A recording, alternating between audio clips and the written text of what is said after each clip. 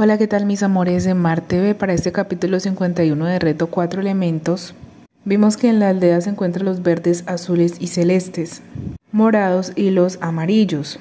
Por su lado, los rosados y los verdes se enfrentaron a la pista de aire para no irse al inframundo, a hacerle compañía a los vinotintos y a los rojos.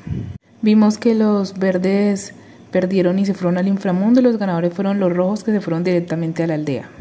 Ya anteriormente se había ganado el desafío para la aldea y Montserrat le dio una sorpresa para el equipo azul. Se enfrentó en la gran pista de fuego con un invitado muy especial que resultó ser su padre. Y para sorpresa de muchos su padre le ganó en esta pista de fuego. En el próximo capítulo los vinotintos rojos y verdes tendrán que enfrentarse en el gran reto del inframundo.